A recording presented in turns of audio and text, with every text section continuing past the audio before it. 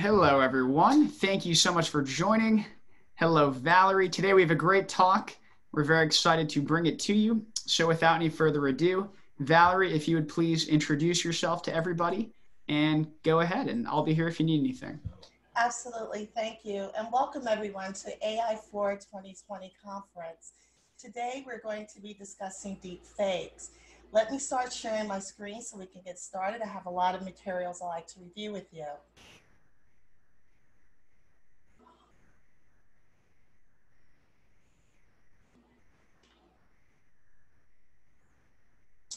Okay, so good afternoon again. My name is Valerie Drew. Today we're going to be discussing the malicious use of artificial intelligence. We're going to take a look at how deepfakes attacks have already occurred. A couple of them we're going to view. And then we're going to uh, dive into two case studies. One is on the deepfake creations conducted by the Kelley School of Business from Indiana University. And then the second is on the IBM research creation of artificial intelligence malware, and the name of it is Deep Blocker. So why don't we go ahead and get started? So what are deep fakes? So if you saw the movie Forrest Gump, when Forrest actually met President Kennedy, you witnessed a deep fake.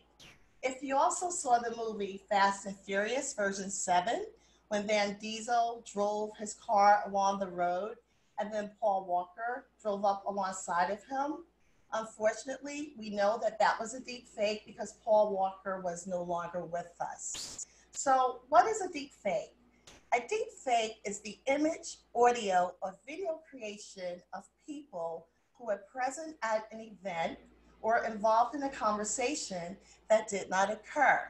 Deepfakes are generated by large amounts of data that are then manipulated through algorithms uh, for AI, which samples their face, their voice, audio, or a bunch of things that we are going to look at in a few moments. Take, for instance, how deepfakes are created and how they actually affect our environment.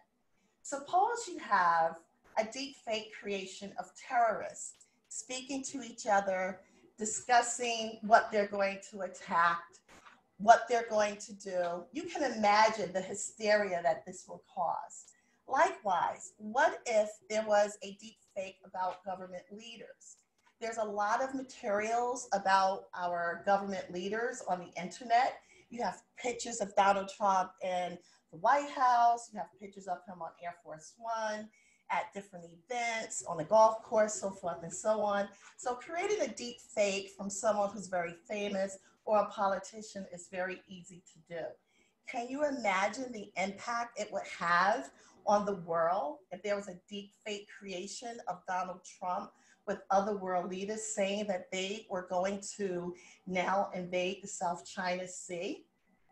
Well, it's pretty obvious that the US intelligence community as well as corporate America, are concerned with the malicious use of artificial intelligence and the creation of deep fakes and the impact that it can have on the US economy, the financial market, and even foreign policy. Besides, it also builds distrust. So let's take a look at how deep fakes are actually created. But before we do, let's go through a little bit of the history, shall we? Um, back in, let's say, autumn of 2017, there was an anonymous Reddit user who uploaded adult videos on the internet under the pseudonym of Deep Fakes. He took deep learning plus fakes, concatenated them together, ergo deep fakes. Among the first of these adult videos appeared actresses like Emma Watson, Katy Perry, Taylor Swift, and Scarlett Johansson. So you can imagine how this actually created a media frenzy for them. And I guess the question you would ask is, well, why didn't they just sue?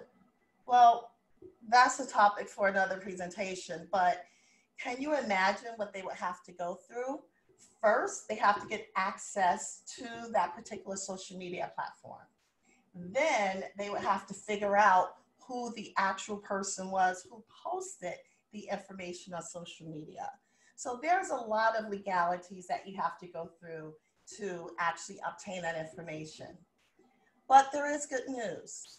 If you can catch yourself, no, if you catch yourself in a deep fake video that you did not consent to, you can uh, sue the creator for $150,000.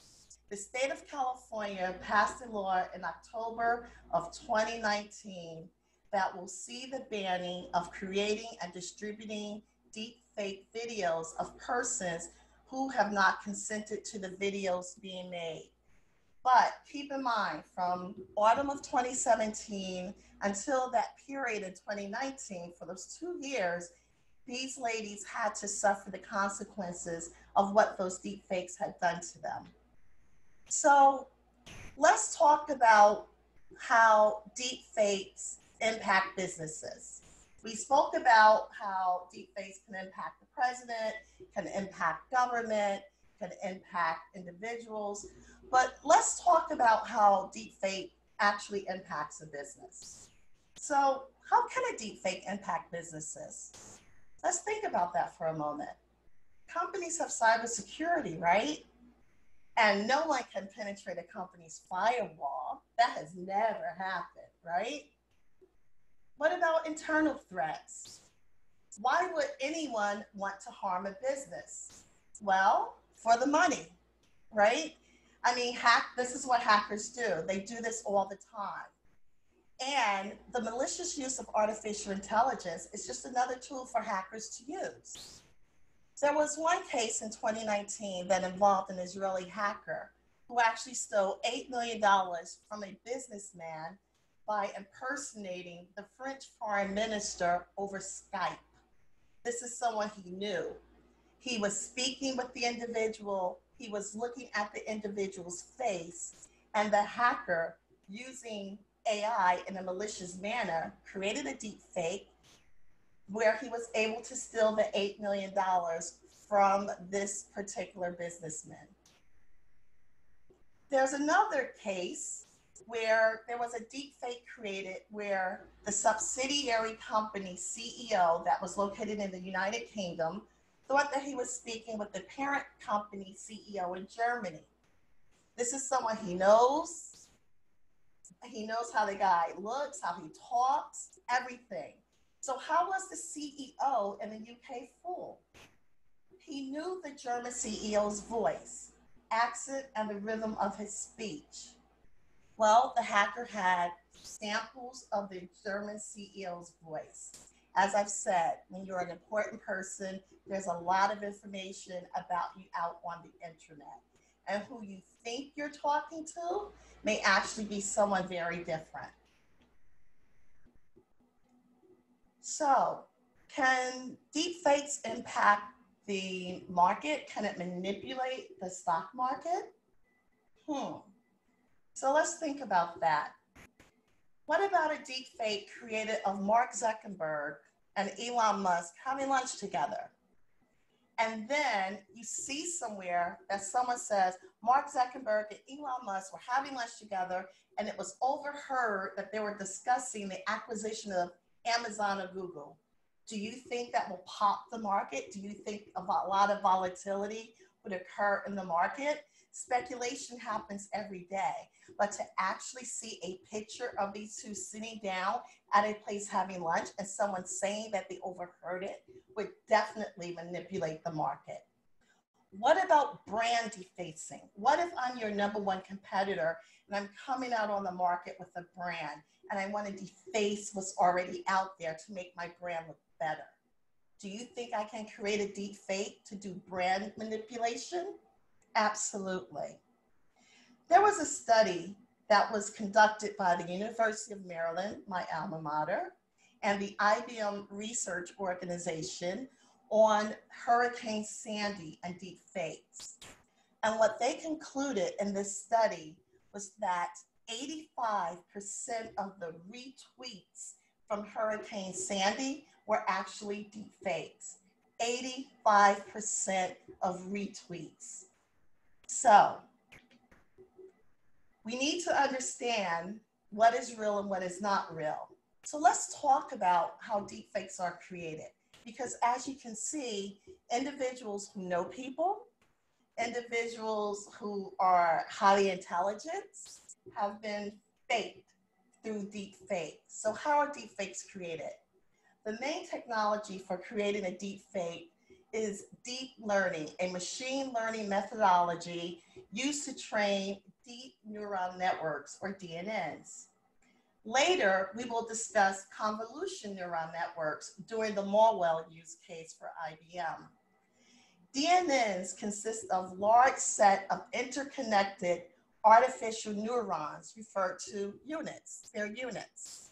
Much like neurons in the brain, while each unit itself performs a rather simple computation, all units together can perform complex, nonlinear operations. In cases of deep fakes, this mapping from an image of one person to another is able to be created. So let's take a look at it, shall we? So there's a study that was conducted by the Kelley School of Business, Indiana University in 2019, in which Alison Brie was deep fake with Jim Carrey on his show. And these references, you can actually look at the YouTube. We don't have time today to look at it, but basically deep fakes are commonly created using a specific network architecture known as autoencoders.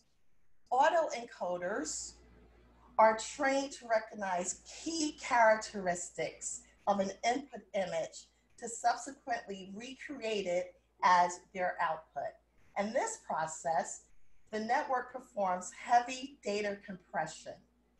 So autoencoders consist of three subparts. There's an encoder, that recognizes the key features of an input face. A latent space represents the face as a compressed version, and then a decoder, the restructuring of the input image with all of the details. So let's go into that a little bit deeper. So you have the actual photo or the video of the person. It goes through this coding process and then it gets compressed and then it gets recreated as an image. And so this is where the manipulation can actually occur. So when you're talking about that compression, you're looking at spatial recognition between the eyes to the nose, the nose to the mouth, the cheekbone, so forth and so on, when you're making various expressions. So let's do an experiment. Take a look at my face. Look at the distance between the nose and my bottom lip. Look at the distance when I frown. It's smaller. Look at the spacing of my nose and my bottom lip when I smile. Larger. And what about when I smirk?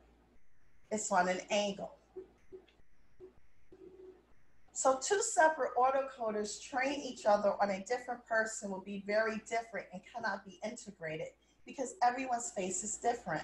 The trick for creating deep fakes lies in sharing the encoder across two networks such that they remain compatible.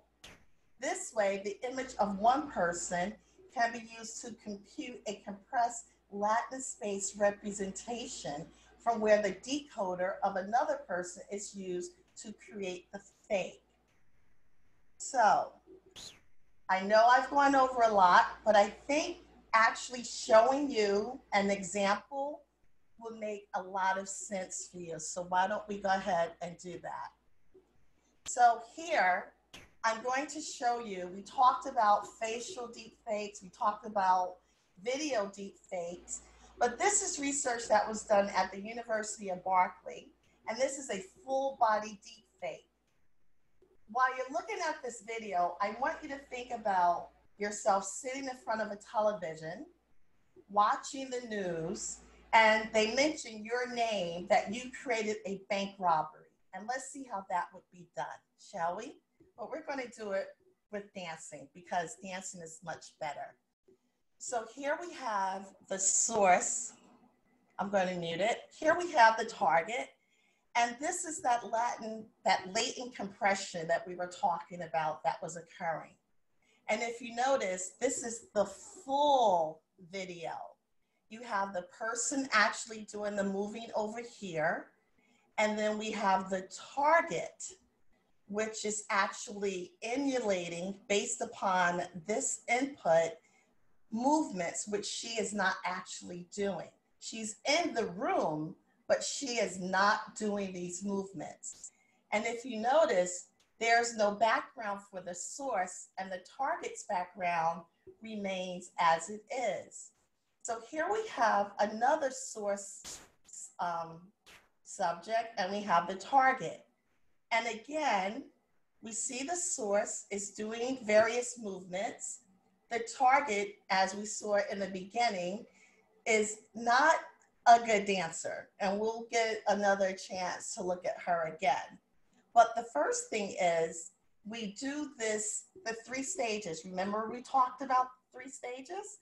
So there's this decoding that's being done and then the compression that's being done, and then the image is being converted.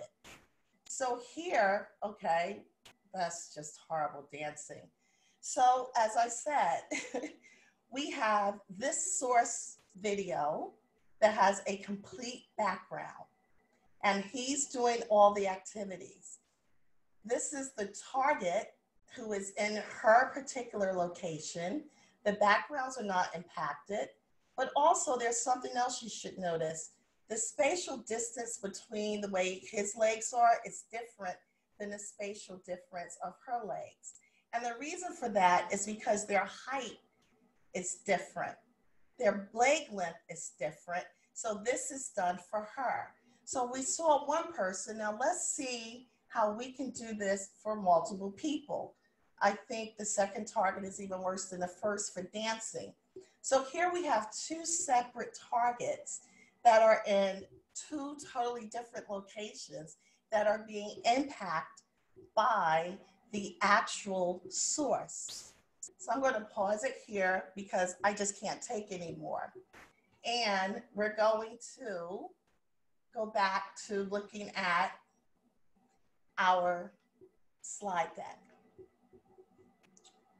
So, as I said earlier, imagine you're at home, you're watching the news, there's someone who created a deep fake about you doing something at a location where, okay, you may have walked into the bank earlier today, but you did not hold a gun at someone, you did not do any of these activities, but that deep fake can show that you did. And it can also have a deep fake on all of the tellers or whatever at the bank. So you can definitely create a deep fake about a person and a situation.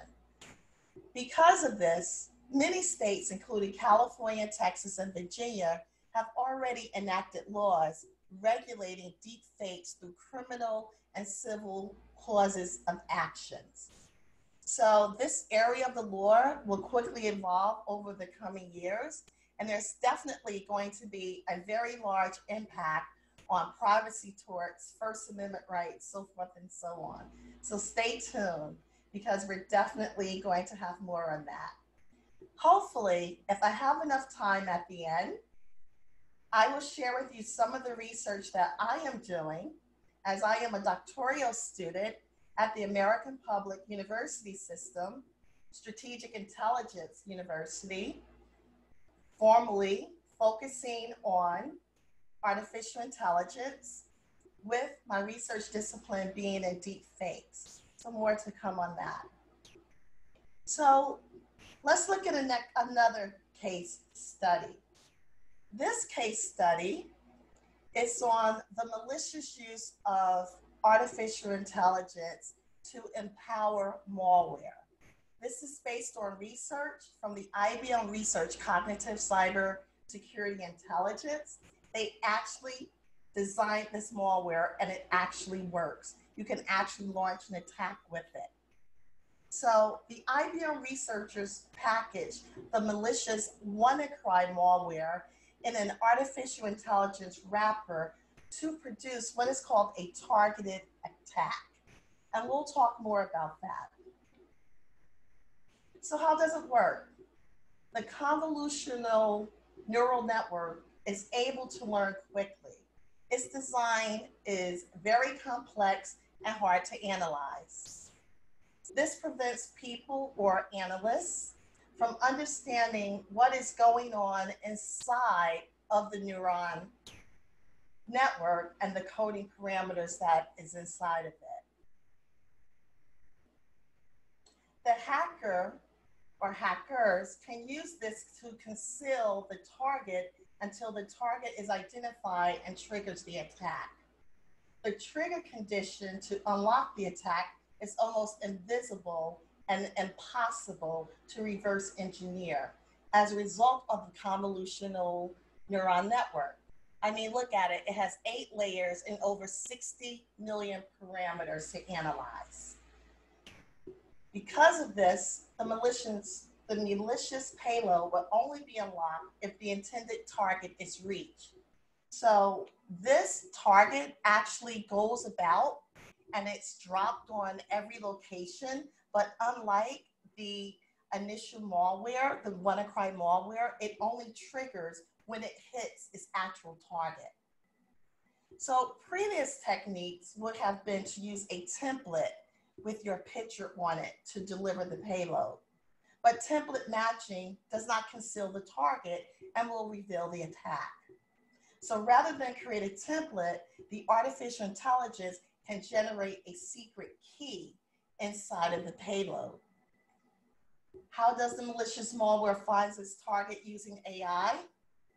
Well, are there photos of you on the internet? Yes. What about your LinkedIn profile? Facebook? Pictures at from work? Imagine sitting at your computer performing your daily task with your video camera on because you just finished a Skype. You didn't send any money to anyone or anything. No one tricked you yet. You're too smart. But you're at your computer. You just finished a meeting through Skype and your camera is still on. Your face can be the key that triggers the malicious payload to execute and unleash the virus to cause serious harm. But it doesn't have to just be your face. It can be a software environment. It can be a user activity such as uploading patches or patching a server. It could be a geographical location like the electric grid. It can be sensors like your HVAC system hits a certain degree, or it can be a physical environment like the United States. So how does it work? The artificial intelligence DeepLocker works by using a concealment and then an unlocking process. So with the concealment, it basically it hides the secret key it goes about delivering the virus on everyone's desktop. And then when it actually hits the trigger condition, say like your face or that environment, it then goes to the unlocking process. And when it goes to that unlocking process, it executes and it delivers its payload. And here's the thing it doesn't just have to be one virus or one ransomware. It can be multiple malicious activities within that payload. And the target can be multiple people. Remember the, the neuron network that we talked about, the six million parameters? That's a lot of parameters. So there could be one payload, one malicious attack targeted to the CEO another one targeted to the Unix administrator, a different type of attack targeted to the database administrator. Oh, and definitely your cybersecurity team. There could be one targeted to them.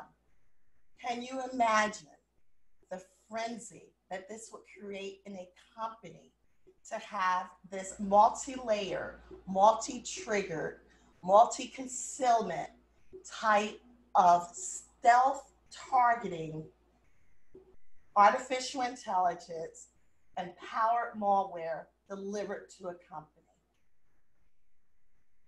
Can you imagine how when they think they fix one thing, something else pops up? Remember the layers and the levels that currently exist in the deep fakes? And how do you know that when you're talking to different people that you're actually talking to them because your systems have now been compromised.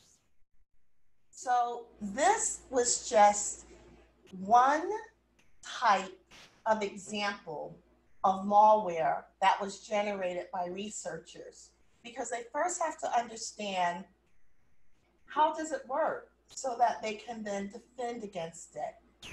But the good news is that although this does exist and it's really out there, it is under lock and key and they're not allowing anyone to get hold of how they actually did it. They're not giving out the secret source, so to speak. And they did leave us with some best practices on what to do in order to prevent this from actually occurring. Same best practices that we always discuss that we know that we're supposed to do. One, you have to perform your code reviews. We all know about all the data leaks and all the things that we have within our code. We have to get real tight with coding and our standards have to really step up because through artificial intelligence, it will definitely find that weakness and it will capitalize on it.